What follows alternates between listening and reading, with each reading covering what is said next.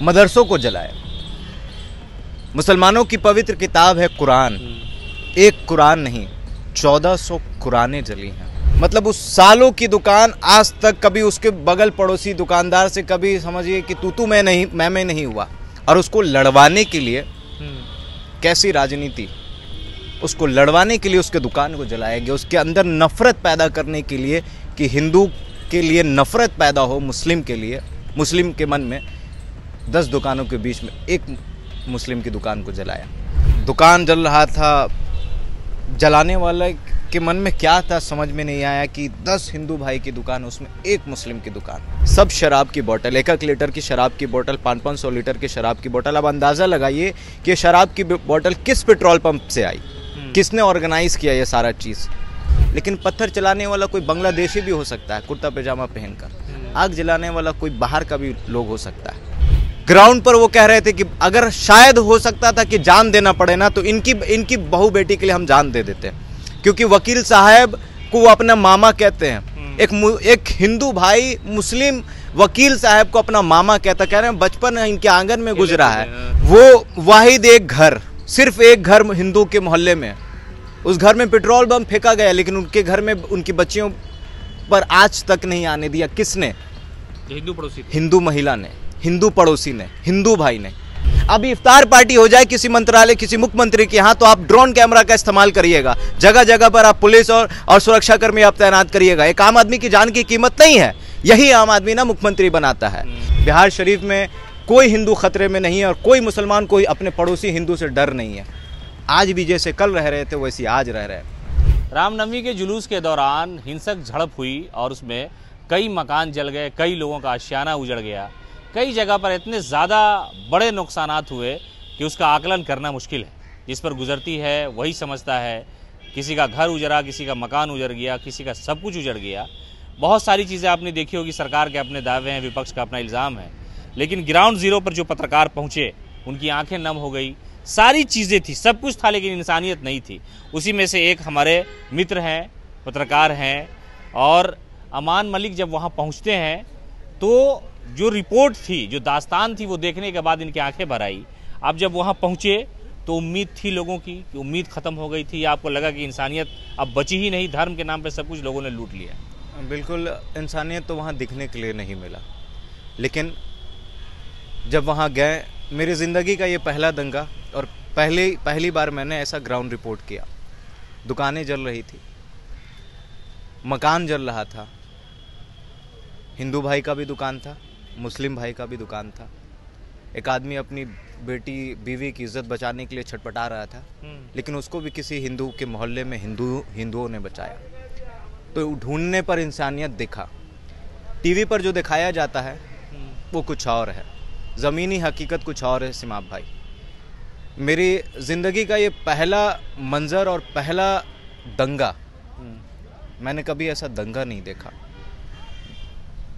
दुकान जल रहा था जलाने वाला के मन में क्या था समझ में नहीं आया कि दस हिंदू भाई की दुकान उसमें एक मुस्लिम की दुकान।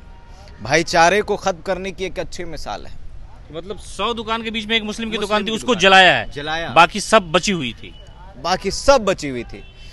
मतलब उस सालों की दुकान आज तक कभी उसके बगल पड़ोसी दुकानदार से कभी समझिए कि तू तू मैं नहीं मैं मैं नहीं हुआ।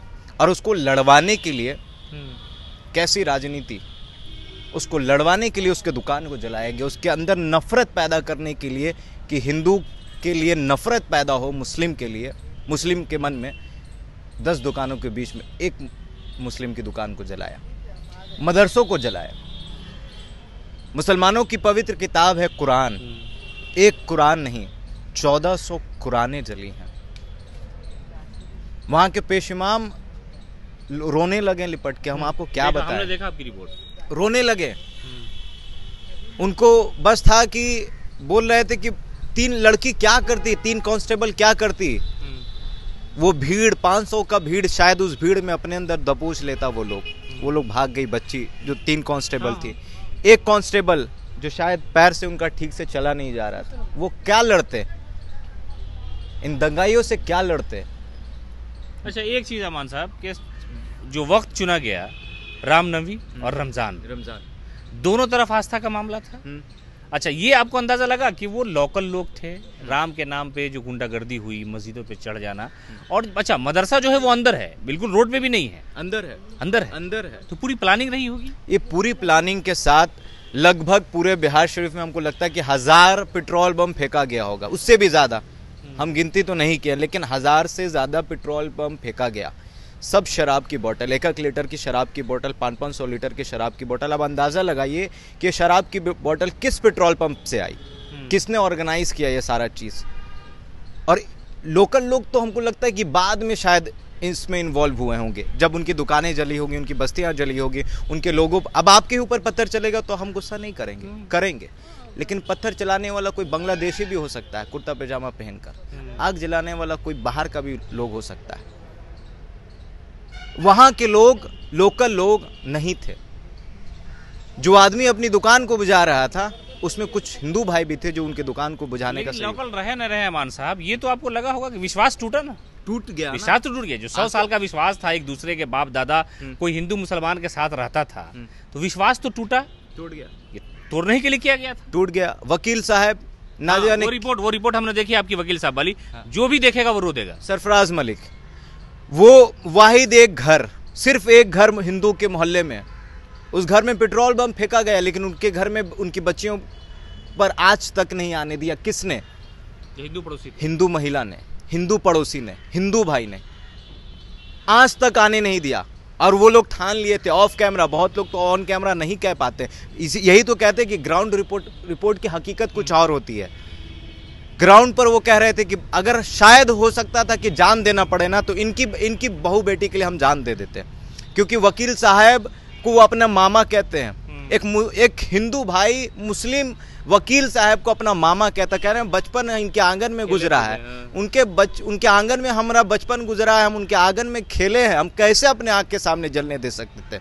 500 की मॉब में वो अकेला वो महिला जो छत पर से आवाज़ लगा रही थी वो मेरे मेरे इतना नौजवान लड़का सामने खड़ा हो गया उस भीड़ के आगे और उनको उनकी माँ बहन को गाली दे रहा था। तो वो ना हिंदू हो सकते हैं और ना मुस्लिम हो सकते हैं। अरुण मेहता जी की दुकान जली। उनकी माँ के अस्थि को उन्होंने अस्थि का एक मूर्ति बनाकर रखा तो उनके उनके अस्थि पर भी बम फेंका गया जो समाधि मूर्ति हाँ हाँ। उन सोचिए कि क्या इंसानियत होगी? मरा हुआ आदमी जिसका अस्थि के ऊपर बम फेंक दे उसकी उसकी इंसानियत हो सकती है। वो मुसलमान हो सकता है। मुसलमान कौम में भी कत्ल करना काफिर लोगों का काम है। मुस, मुस्लिम कौम काफिर नहीं है। हिंदू भाई काफिर नहीं है। हकीकत कुछ और है। और एक भी हिंदू पलायन नहीं किया बिहार शरीफ से। एक भी हिंदू नहीं पलायन किया है। ये तो अफवाह है। अफवाह है। मैं मैं बता रहा हूँ कि मैं रोज़े में था। मुझे नेट नहीं मिल रहा था। एक मिश्रा जी थे या उनके घर में जाके वाईफाई चल रहा था इत्तेफाक से कुछ कुछ जगह पर वाईफाई चल रहा था। उनको पता चला रोज़े में हमको बैठा दिए बोले बैठ के जब तक आपको ज़रूरत है भेजिए। हमको तो डर नहीं लगा हिंदू मोहल्ले में ग्राउंड रिपोर्ट करने में। नफरत इतनी होती तो मुसलमान के नाम पर किसी को भी कत्ल कर देते। हैं साहब सवाल ये खड़ा होता है कि आपने बड़ी राजनीतिक गलियारों में आपने रिपोर्टिंग की है देखा है पहला तजर्बा आपका रहा है। बिहार शरीफ में बहुत वक्त आपने गुजारा है। सवाल ये है कि किया तो किया था? किया था? हम्म, माले इंसानियत को मारने के लिए शैतानियत वाला प्लान चाहिए था। हाँ। किसी ने तो किया है ये सारा सिस्टमेटिक इफ्तार के वक्त शुरू करना और चुन चुन करके जो माइनॉरिटी का घर था मस्जिदें थी दुकानें थी उसको जला देना जैसा आप बता रहे हैं। तो प्लानिंग तो बड़ी साजिश थी। या तो सरकार की नाकामी है पूरी की पूरी डीएमएसपी की नाकामी है। प्रशासन की बहुत बड़ी चूक बहुत बड़ी गलती कही है। आप साठ हज़ार की संख्या में हिंदू भाई शोभा यात्रा निकाल रहे हैं आपकी नाकामी है कि उनके ऊपर पत्थर चला। आपने ड्रोन कैमरा का इस्तेमाल क्यों नहीं किया? अभी इफ्तार पार्टी हो जाए किसी मंत्रालय किसी मुख्यमंत्री के यहाँ तो आप ड्रोन कैमरा का इस्तेमाल करिएगा। जगह जगह पर आप पुलिस और और सुरक्षा कर्मी आप तैनात करिएगा। एक आम आदमी की जान की कीमत नहीं है। यही आम आदमी ना मुख्यमंत्री बनाता है। यही आम आदमी ना आपको डिप्टी सीएम बनाता है। तो इसकी जान की कीमत नहीं है। इसके लिए कोई ड्रोन ड्रोन कैमरा नहीं। वो तीन महिला पुलिसकर्मी क्या कर सकती थी? गोली चलाने से पहले दस बार वो सोचेंगी। गोली चलाने से पहले। और जब आग लग गया तो बुझाने से क्या फ़ायदा?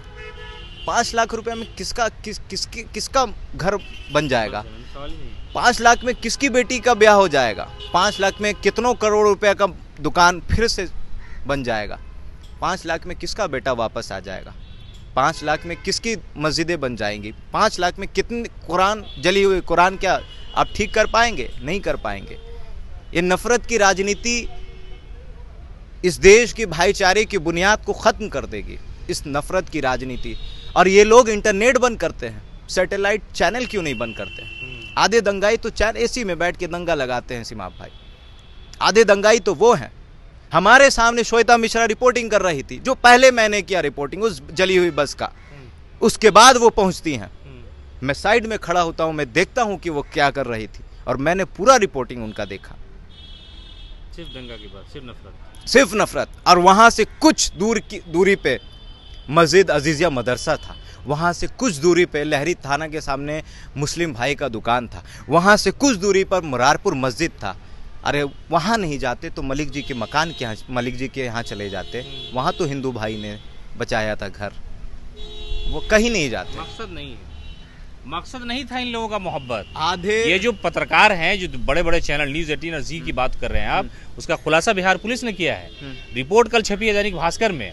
ये जो तीन चार एजेंडे पर वो लोग काम कर रहे थे पहली बात कि भाई इस घर से प्लान कर गया वो घर शुरू से खाली है उसमें कोई नहीं रहता कोई है। नहीं। और दूसरा मामला कि पुलिस कांस्टेबल के साथ जो बेजती हुई वो, वो भी मामला नहीं है।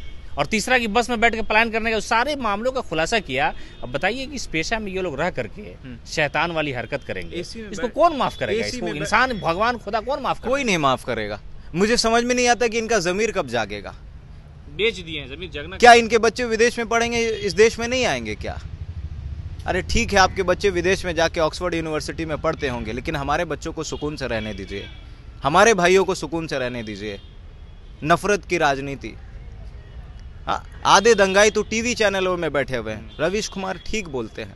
अगर हम जैसे यूट्यूबर ना हो ना तो ज़मीनी हकीकत पता नहीं चलेगा। आपके और इनके आँखों हमारे आँखों पर पट्टी डाल दिया जाएगा। और उस पर नफरत सिर्फ़ नफरत एक दूसरे के अच्छा, लिए। कहा गया कि शोभा यात्रा में जितने लोग शामिल थे वो ज़्यादातर 16, 17, 15, 18, 20 साल के बच्चे थे। हाँ।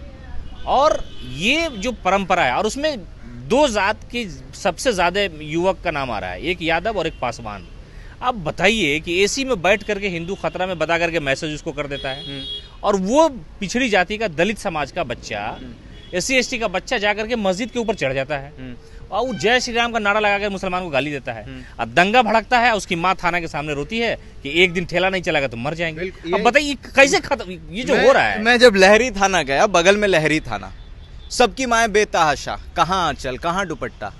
सबकी माँ बेतहाशा सीमा भाई मैं बता रहा हूँ ना कि किसी भी तरीके से उनके बच्चों को जेल से बाहर निकाल दिया जाए ये मंजर था। अठारह अठारह सोलह साल सोलह साल के बच्चों को ये लोग नफरत की आग में डाल रहे हैं। ये चाहते हैं कि एस सी के बच्चे पिछड़ा समाज के बच्चे नई कलम पकड़े या पत्थर चलाए तलवार पकड़े माइनॉरिटी के बच्चे नहीं चाहते हैं। इसीलिए मदरसा जलाया गया। इसीलिए मदरसा जलाया गया। और ये कोई नया चीज़ नहीं है। जो लोग जिनको फ़ायदा होता है ना इस चीज़ से वो मलाई खा रहे हैं। और वो पुराना साल रिपीट करना चाह रहे हैं बिहार में भी। और ये टीवी चैनलों पर जो बैठे हैं ना मैं कह रहा हूँ कि अगर कहीं भी दंगा हो ना तो इंटरनेट बंद कर रहे हैं तो सैटेलाइट भी बंद कर दें। चैनल बंद कर दीजिए। चैनल बंद कर दिया। देखना बंद करिए आप लोग टीवी को देखना बंद करिए। मत मानिए हम लोग को पत्रकार हम लोग यूट्यूबर हैं। सच दिखाने के लिए हमको किसी डिग्री और सर्टिफिकेट का ज़रूरत नहीं है। लेकिन जो सच है वो कहेंगे। कहेंगे दिखाएँगे सच। बिहार शरीफ में कोई हिंदू खतरे में नहीं है और कोई मुसलमान कोई अपने पड़ोसी हिंदू से डर नहीं है। आज भी जैसे कल रह रहे थे, वैसे आज रह रहे हैं। रमज़ान के महीने में फल की कमी हो रही थी तो बेच, फल मंडी में ज़्यादातर लोग हिंदू भाई होते हैं। वही ठेला से मुसलमान भाई खरीद रहे हैं लेकिन ये बात तो अमान साहब सेकुलरिज्म वाली हो गई इंसानियत वाली हाँ। कि भाई हिंदू मुसलमान कोई सब एक साथ रहता है हम्म। लेकिन हकीकत है ना तो- अब बताइए कि मदरसा रोड से कितना अंदर है हाँ। तो पहले से प्लान तो रहा होगा कि जलाना है उसको बिल्कुल। अब बताइए मदरसा बिहार गवर्नमेंट का है हाँ। किसी का प्राइवेट भी नहीं है हिंदुस्तान की आज़ादी में उस मदरसे में ऐसे से पढ़े लिखे उसका बड़ा योगदान है बिहार बोर्ड के वक्त- उन्नीस सौ और बताइए जलाया कौन है? वो जो प्लानिंग रही होगी तब तो किया ना? मैं कह रहा हूँ कि उस उस, मदरसे का पहला दिन मैंने रिपोर्टिंग किया ठीक है? मैं जैसी मदरसे के अंदर गया तीन पुलिसकर्मी आते हैं। मुझे लगा शायद यहीं के होंगे। मैंने गार्ड से पूछा मैंने गार्ड से बातचीत भी किया। क्या मंजर था? गार्ड ने कहा कि मैं गेट के पास खड़ा था या अंदर में कहीं खड़ा था। अचानक से डेढ़ सौ दो सौ की संख्या में भीड़ आता है। हम्म। और सबके हाथ में पेट्रोल वो गमछा गमछा। हम्म, भगवा वाला गमछा। भगवा गमछा। और उसके बाद पेट्रोल बम हाथ में तलवार और दनादन मारने चले बम मार रहे थे। अब वो दो सौ की भीड़ में एक अकेला बंदा क्या करेगा? आप भी भाग जाइएगा। हम भी भाग जाएँगे। और वहाँ पुलिसकर्मी नहीं। जब आपको पता है कि हर अब हर साल पूरे देश में देखा जहांगीरपुरी में हुआ वही शोभा यात्रा के दौरान तो आपको दूसरे राज्य से सीख लेना चाहिए कि शोभा यात्रा में पत्थर चलता है और उसके बाद फिर दंगा होता है तो आप सुरक्षा कर्मी नहीं बढ़ाते हैं। आप ड्रोन कैमरा का इस्तेमाल नहीं करते हैं। बाद में आप उनके बच्चों छोटे छोटे बच्चों को उठाते हैं। एस सी के बच्चों को उठाते हैं माइनॉरिटी के बच्चों को उठाते हैं जो 18 साल के भी नहीं होते हैं। तो जो दंगा भड़काते हैं वो तो एसी में कोटा में पढ़ते हैं कैम्ब्रिज में लंदन में पढ़ते हैं। उसको तो आईएएस आईपीएस बनना है। इसको खतरा है मुसलमान से। ये छोटा जो छोटा जात का जो लड़का सब है पासवान है जो यादव है सबसे ज़्यादा दो ही जात का लोग वहाँ दंगा में शामिल है। जो हमला किया है। तो ये लोग यही करेगा? यही तो मामला है ना? असल कलाकारी तो यही है। प्रशासन की भी चूक। बहुत बड़ी चीज़ बहुत बड़ी चूक। बहुत बड़ी चूक जिसको कहें। सुरक्षा मतलब समझिए कि हिंदू भाई कह रहे हैं कि प्रशासन पुलिस के नाम पर समझिए पुतला खड़ा था। लोग कह रहे थे। मुस्लिम भी वैसे कर रहे थे। बिल्कुल। दूसरा गुजरात बनाने की कोशिश थी। बिल्कुल। तो ये थे हमारे साथ अमान मलिक जो बिहार शरीफ में चार दिन रह करके आए हैं। ग्राउंड ज़ीरो पर थे, रिपोर्टिंग किया, इन्होंने देखा, जो बसें जली थी, वो बस का स्ट्रक्चर नहीं था, वो इंसानियत जलाई गई थी। सत्ता में जो बैठे हुए लोग हैं, अपने आप को सेकुलर सरकार कहते हैं। कहा जाता है कि जब बिहार शरीफ में दंगा होता, लालू प्रसाद यादव यहाँ से चले गए थे वहाँ।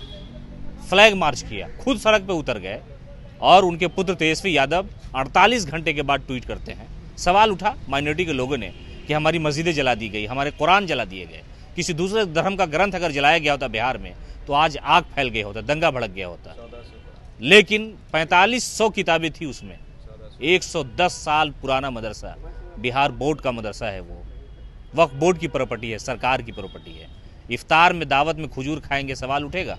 जिस कम्युनिटी ने आपको 100 फ़ीसद वोट दिया, जिस मुसलमान ने लालू यादव पर आँख बंद करके भरोसा किया उसकी मस्जिदें जला दी गई, उसके मदरसे जला दिए गए और ये आपके राज में जला है।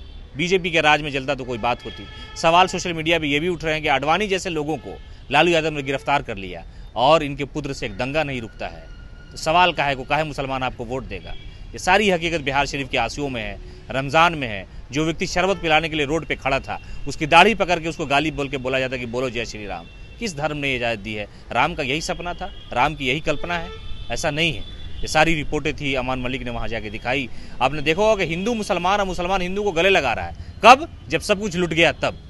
सवाल यही है कि पहले से क्यों नहीं लगाया गया? जो भी पार्टियाँ हैं, जो भी संगठन है, जिन लोगों भी ने कॉल किया रामनवमी के नाम पर, भगवान किसी को मारने या माराने की बात कहता है? अल्लामा इकबाल बहुत बड़े शायर गुजरे हैं, जिन्होंने लिखा, सारे जहाँ से अच्छा हिंदुस्तान हमारा। उन्होंने इसी लाइन में कहा है कि हराम के वजूद से हिंदुस्तान को नाज। अहले नज़र समझते हैं उनको इमाम हिंद। जिनको इमाम हिंद समझा जाएगा, उनके अनुयायी यही तलवार और कट्टा लेकर निकलेंगे और बस्तियाँ जला देंगे, आग लगा देंगे। और उसमें भी मीडिया का एक बड़ा रोल, बड़ा किरदार। कि आप बताइए कि दंगा भड़का दिया? बड़े बड़े चैनल के पत्रकार बैठ करके वहाँ जाकर के नफरत फैला रहे हैं। ऐसे लोगों पर कार्रवाई नहीं होती है। लेकिन एक छोटा पत्रकार अपने आप को यूट्यूबर कहता है, लेकिन इंसानियत उसके सीने में है, उसके दिमाग में है उसके धर्म में है, उसके मानने में है, वो जाता है वहाँ और हकीकत देखता है, रूह काँप जाती है, उसका कोई मज़हब नहीं है। उसका मज़हब सिर्फ़ इतना है कि एसी में बैठे हुए नेते, नेता लोग जो है वो देखे कि ठेला पर जो बाप सुबह सवेरे खींचता है सब्ज़ी, आज उसका बेटा जेल में है, दंगा भड़काया किसी और ने, कहा उसको तुम जाकर के गाली दो एक कम्युनिटी को, आज वो जेल के पीछे है। ये परंपरा यूँ ही चल रही है, इंसानियत बचे न बचे, सत्ता बची हुई है, यही उनके लिए काफ़ी है।